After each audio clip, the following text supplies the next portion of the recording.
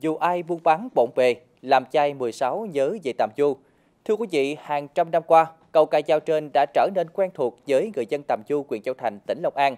Ngay sau Tết Nguyên đán, người dân thị trấn Tàm Chu và xã Dương Xuân Hội, huyện Châu Thành chuẩn bị tổ chức lễ hội làm chay.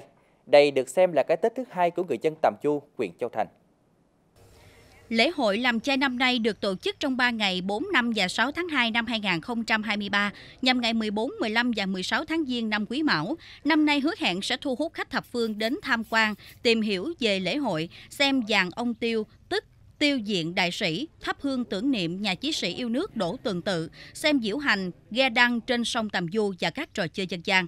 Năm nào cũng vậy, sắp đến ngày lễ hội, bà con địa phương ai cũng nô nức tự nguyện tham gia các công việc mà mình có thể làm được. Trong suy nghĩ của mỗi người, đến giới lễ hội làm chai là tỏ lòng biết ơn các bậc tiền nhân, có công khai phá, mở mang và phát triển vùng đất này, cầu mong công việc làm ăn thuận lợi hơn năm cũ, sức khỏe, nhiều hạnh phúc và may mắn trong năm mới.